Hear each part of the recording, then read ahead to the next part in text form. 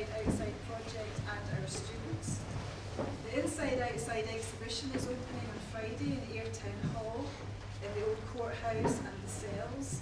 And we're very fortunate to have, I think most of you have now seen it, a pop-up exhibition of some of the work here. The work focuses on and features some of the stories from women involved in prostitution in Scotland and it aims to raise awareness of the issues they face um, through commercial sexual exploitation. Um, Linda Thompson, who's here, who's, who's coordinated, she's from the Women's Support Project, has coordinated the exhibition which is touring the country at the moment. She came in a couple of uh, months ago and did some work with our fashion, media and performing arts student and inspired quite a few of our students to become involved in the, project and the exhibition, volunteering from it, for it, and also inspires some of our performing arts students to, to create devised pieces based on the women's stories which you're here to see today. The first performance um, devised by Georgia Raymond is going to last about 10 minutes. They'll, therefore, they'll thereafter be a 10 minute break while we get the theatre rearranged for the next performance which was created by Courtney McCulloch. It will also last about 10 minutes. And could I ask you please that while the performances are on, if you could be quiet because our media students are also performing, recording this performance today because at the exhibition in the town hall there's no space for a performance, so we're hoping to project it and the filming at there. So thank you very much and I hope you enjoy the powerful and thought-provoking performances you're going to see.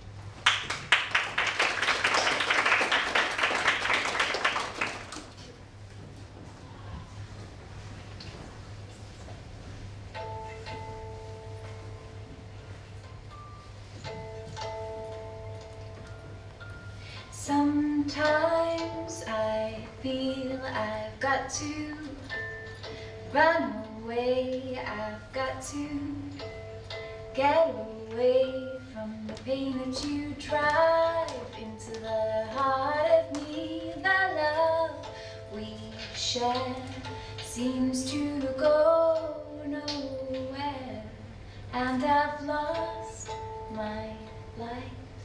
For I toss and turn, I can't sleep at night.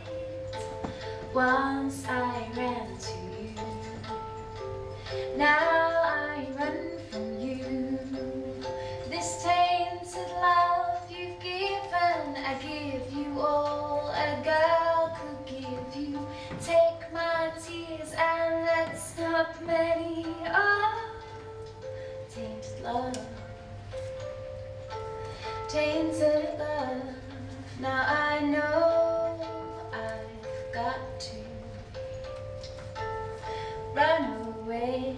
I've got to get away. You don't really want any more from me to make things right.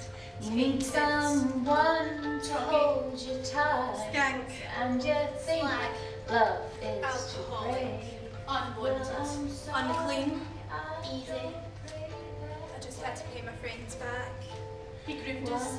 I was just 16. I never thought about the street selling myself. The hard stuff really hit when I was 15. My friend's boyfriend said he could help me somewhere in Scotland. You just go into a car, a car will come. Someone put the opportunity in front of me and I took it. I had to shoplift to get money.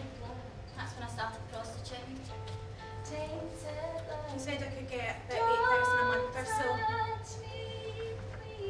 I knew fucking nothing. I wasn't prepared. I was sitting with my pals. We got dressed and went down the road. I just wanted to stay long enough to pay off my debts. Fucking naive.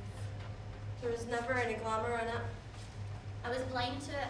The first night, scary. Some young men are growing into society where they think they can have a woman. And the way they order a pizza.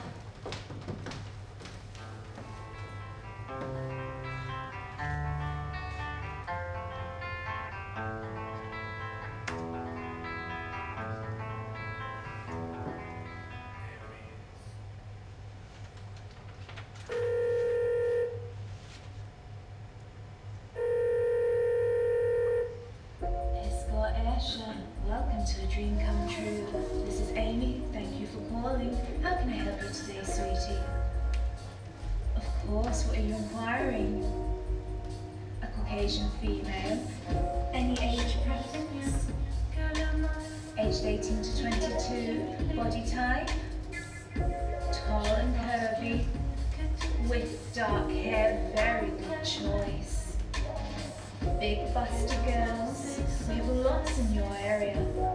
Any particular fetishes?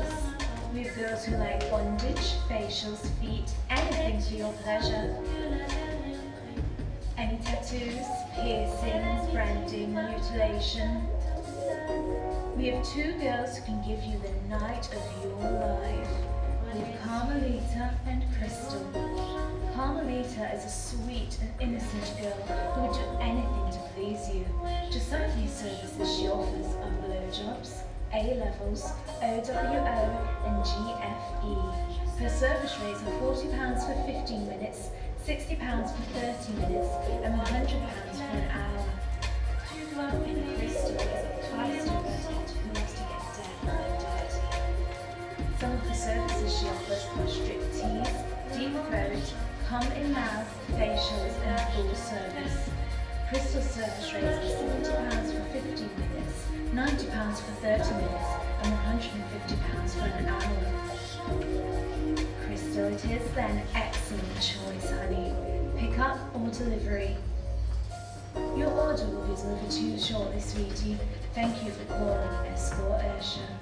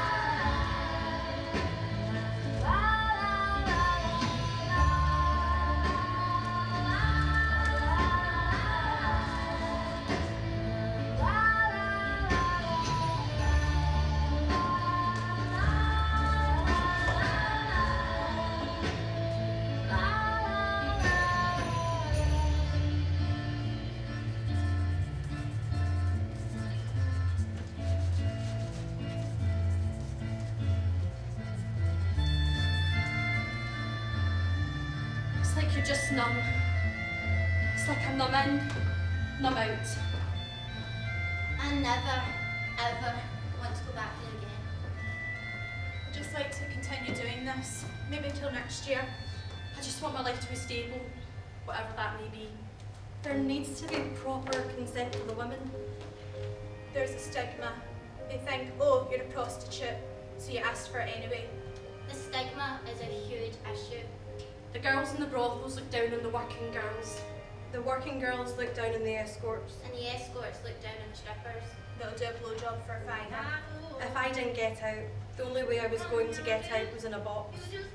They They don't buy our consent. They buy our silence. That's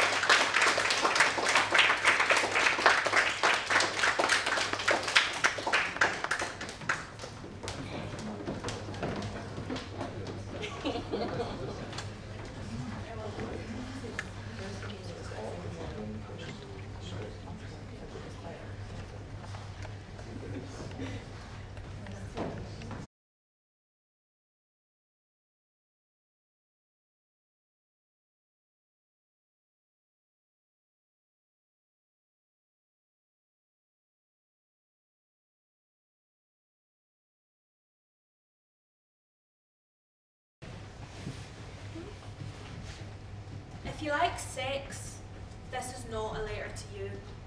If you like women, this is not a letter to you. If you've decided somehow these things put together and decided that they give you the right to buy what you like, this is a letter to you. If you're a mis- misogynistic bastard who gets off on hurting women, this is not a letter to you. Apart from the fact that nothing here would get through, I wouldn't waste my fucking writing skills on you. If you're a man who buys sex and thinks you're engaged in a mutually beneficial transaction that's causing no harm, I'm talking to you. I met many of you. So many. Too many. And I always wondered about you. I wondered, how could you justify this to yourself? How could you tell yourself and believe it? That I was happy to have strangers' fingers, penises, and tongues shoved into the most private parts of me? How did you convince yourself that I'd be happy about something you'd never, in your wildest nightmares, wish on your own daughter? I wondered, most of all, how could you look at me and not see me? Let me tell you who you are. You're the good punter. You're the man who has a laugh with me and the woman that you're buying. You're the man who strokes her hair, asks her how her day has been, how she's feeling. Why is she doing this? Did you ever think to ask yourself that? You are the good punter. If you see a bruise on her, you'll ask if she's okay. Is anyone treating her violently? Yes. Many men are. Go in the bathroom and you'll find one above the sink. The truth that you're so desperate to flee from is that you are just like a gentle rapist. Your attitude and demeanour does not mitigate what you do. The damage you're causing is incalculable, but you tell yourself you're doing no harm here. And you use the smiles of the women you, you buy as some kind of currency. They allow you to buy your own bullshit. I would know. I doled out, doled out that currency many times, and we both were that. We both doled out currency in different ways, you and me. You came along because you wanted to spend the money that you had to spend. Your load, which also meant your money. And you looked at me, and you touched me, and you fucked me, and then you held me. That was always the worst part. I want you to know that. That was always the worst part. I didn't want to be held by you. I didn't want to be cuddled. I didn't want you close to me, never mind inside me. Your arms around me made me want to puke more than your penis ever did. I shut out that part. It was too horrible. Every moment with you was a lie, and I hated every second of it. And you bought that lie. Believe me, it was a lie you bought. I know because I sold it. In Costa Rica, they say, who is more at fault, the one who sins for the pay or the one who pays for the sin? These words were taken from a book about men like you, Victor Malarek, the Johns. Can you see the truth in them? You can, but you don't want to acknowledge them. You don't want to face up to that. It doesn't fit with your view of what you do. It doesn't fit with your view of who you are. But I know who you are. I can see you now. You're the good punter. You've got your fists shoved in your ears. You are good punter. And you don't want to hear.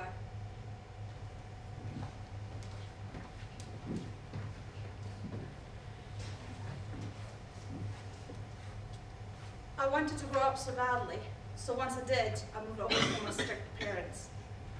I thought, you know, being independent and free, it's fun, but nobody warned me how expensive it could get.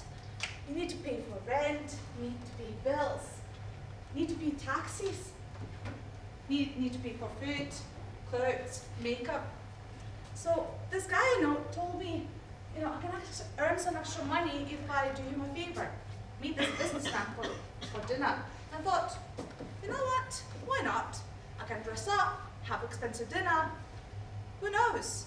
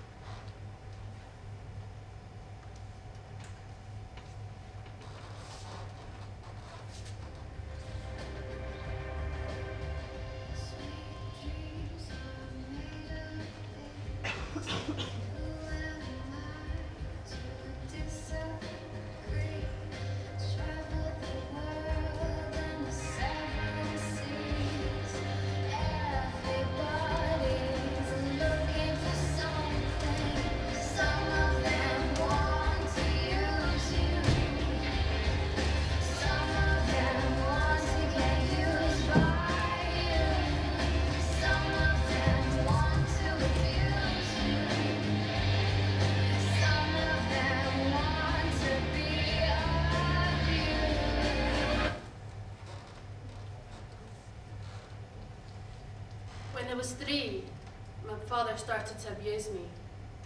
And at the age of five, he started to rape me. I guess it's funny from West End.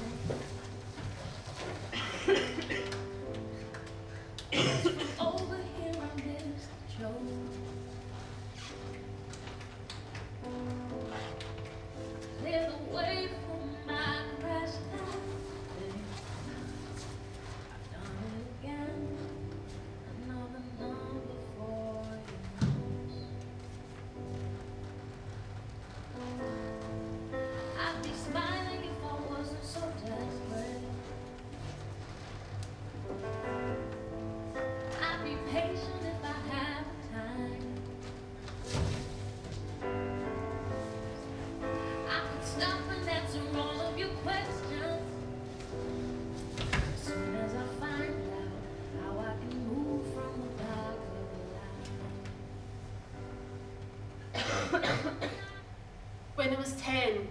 sold me to a strange man that I'd never met before. I thought I was going to have a better life, but I was wrong.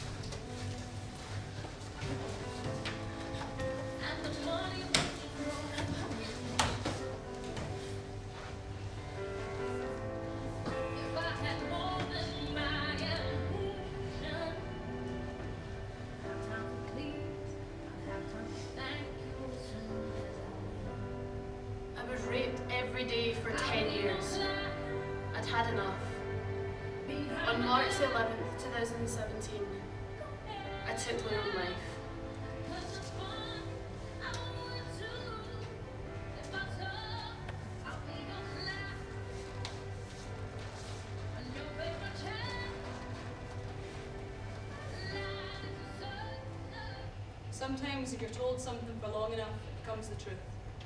Sometimes if you live a certain way for long enough, it becomes normal.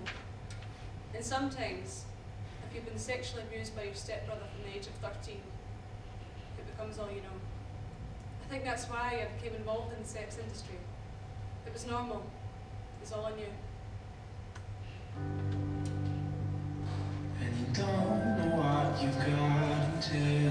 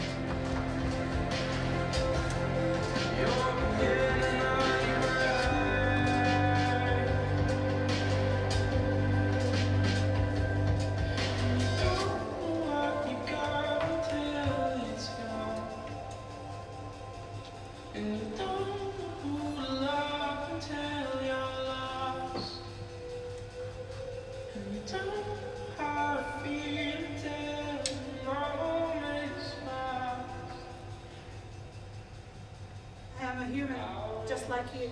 I'm not a piece of meat you can have your way with and then chuck me when you're done. I have feelings. I am not alone.